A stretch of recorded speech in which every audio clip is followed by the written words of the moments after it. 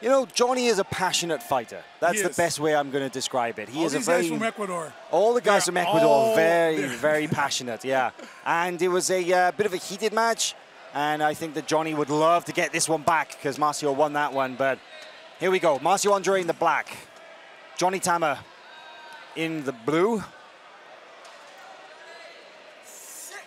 Immediately looking to get in on those legs is Johnny Tama. But you know, when it comes to that kind of game, that leg fighting game, Marcio Andre is one of the best in the world at that. 100%. A few people can beat him in that position. 100%. He has wins over guys like Gianni Grippo, Paulo Miyao, some of the best leg fighters in the world. Who was the guy that he beat uh, on Fight to Win uh, recently? Big dude. Who did he win?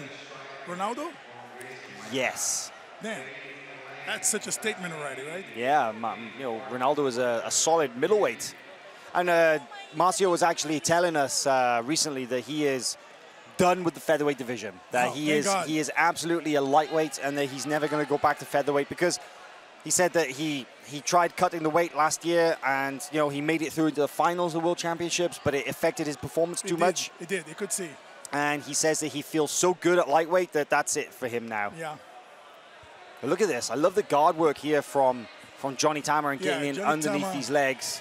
Johnny Tama has a crazy guard guard retention. His guard retention is amazing. You know, Johnny has had a rough year. If you look at his results, he will he will be the first to tell you that he's extremely disappointed. He has never lost as much in his career as he has this year, and yet some of those matches have been absolutely phenomenal performances. Like he had a great match with Osvaldo Queixinho at Third Coast Grappling in the Right. super fight that was as close as you could imagine, you know? He had great matches uh, with all kinds of fighters, gi and no gi. But Marcio Andre, Well, he won. He won. Uh, he won Worlds No Gi uh, last year, late last year. Really well in such a a great fashion. Yeah, Yeah. such a great fashion. With all the drama that he likes, but uh, he was he put on a show. I like to see Tama fighting, especially when he unleashes it as well. It's not playing guard retention, but um, yeah, I, Yeah. I, I like to see what he does. when he goes on the attack, Yeah, Johnny so is very dangerous. But look at this, Marcio Andre coming around up towards the upper body and maybe, oh, Wow. sits through Straight onto the for the mount. mount. What a beautiful transition there. And you mounted. You mounted when you oh. Johnny manages to recover, but that was a uh, beautiful Should movement. Be two, should be two advantages, yeah. Two advantages. One for the pass, one for the mount. Man, And I gotta say, the way that Marcio, he just floated Yeah, he into that position. he fights like a, an experienced black belt, which he is, actually. Oh, look at this smash pass you go. position. Cyborg style. Both the knees together. oh, but long long step. He went for the long step, which I think is not the best the best choice, but what do I know? He it got worked. the three points. There you go. there it is. Because that's the know? great thing, though. You have the choice. you I'm- can go either direction, right? I, I, I love the learning experience from these kids. you can learn a lot by watching somebody like Marcio Andre and Johnny Tama. They really can. 100%.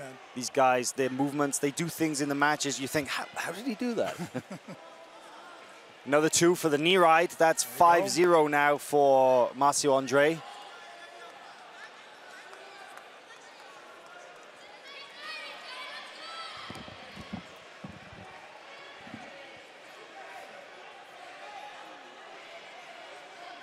Yeah, Marcio's having a is having a a good time there on the on side control, and uh, Johnny Tama's trying to get out of take take Marcio take Marcio's pressure out by putting his foot on the lapel, which doesn't mean he's playing guard again, but um, he's trying to just re- to release that pressure.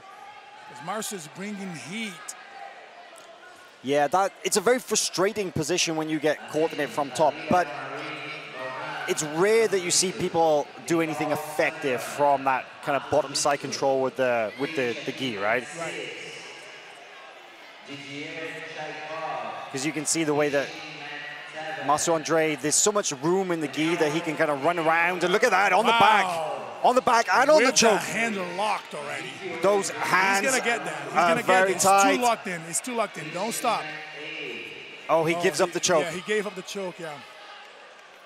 But he was. Did you see what he did?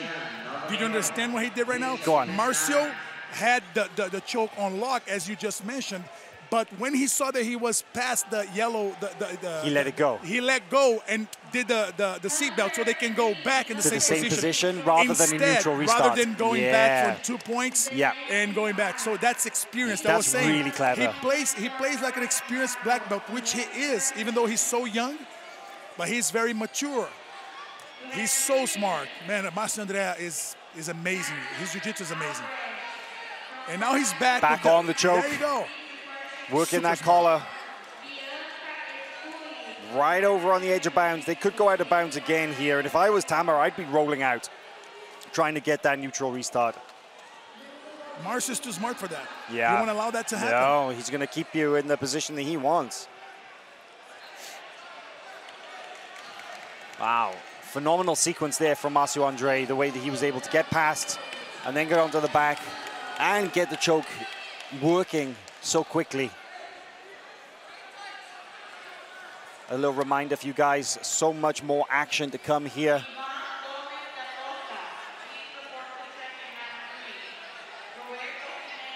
But this Marcio Andre here now. This, of course, is Marcio Andre. I believe this is his first match in, uh, in the division, or this is Johnny Tama's second.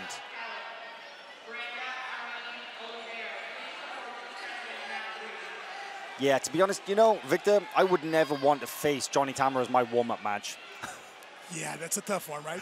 But Marcio Andre looks so cool out there. He looks so calm. I think that's the best way to go against somebody like Johnny because Johnny, like you say, is so passionate and comes out with such energy. You can't match that. And, and not only that, like I think I think that the earlier in the bracket you get to face Tama, the better for you because I think that Tama grows as he moves on on the bracket. You know, he, if you if you get Tama in a final match, that's a part. You remember when uh, when Tama had to uh, open for Lucas Lepri? Oh, yeah. and he was crying Yep. because he knew that at that He stage in the bracket, stronger, yeah, yeah. exactly, he was building Yeah. it up. Yeah. He's the type of guy that builds it up. Some of the guys they fade, and their their their final match is the worst. Right. Even though they sometimes win, but their final match is the worst. I think I think that Tama is exactly the opposite. His final at No Gi Worlds was amazing. Yeah, Was a because great match. he had reached He that point up, in yeah. the day. Yeah. He gains more confidence as as as, as the fights go. You know, it's uh, it's the heart. He has a lot of heart, which is great. Yeah, those kids from Ecuador, man, they all have. Oh, coming from uh, Raul Jimenez himself, Exactly, Roberto's dad. exactly. Has such a big heart. Marcio doesn't quite have the full back control here. He's got one hook, but he is trying to sneak that second hook in. But you can see Marcio doing a good job. Uh, sorry, Johnny doing a good job of denying it. Yeah, but Marcio's gonna go for the choke. Um, he has the uh, he has the other leg coming up. Yeah, Tama did a good job by avoiding that leg to come up. Strong work here, I gotta say. Watching Marcio Andre compete in this tournament, he is a pan champion, and I'm sure that he would like to get another gold here. He's actually the number three seed in this bracket. If he wins this match, then he'll likely go on to face probably, well, we'll see that side of the bracket unfold, but probably Michael Liera Jr. And then it would be Yeah. uh, most likely Renato Canuto in the semifinal. That's a hell of a bracket. Yeah, then you've probably got you've probably got Jonathan Gracie in the other in the final. that's, Wow. that's a well-earned gold medal. This lightweight division is where it's at. The, the 2020 Pans, I gotta say, it's one of the the most loaded divisions. You know, there were some criticisms that maybe some of the big names were missing this year. Not in the lightweight division. Lightweight division stacked.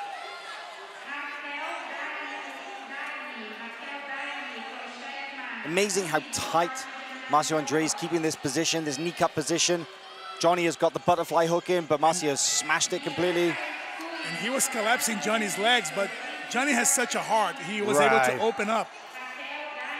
Still quite a lot of time to work in this match, you know. I mean, like, even though it's 5-0 up, that Marcio Andre, you know, he can't take his foot off the gas because, well, you allow Johnny Tama to get back in the game at your peril because he can make it a bad day for you.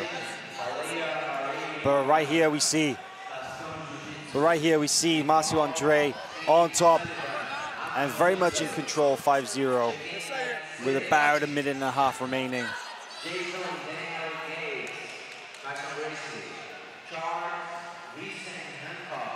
It's funny. Uh, Renato Canuto just passed by us, and uh, he told me I, I took the headphones off to, to, to, to, hear what he had to say, and he just told me, "Yeah, man, that first match thing." And I said, "Man, I just I just made a comment on that."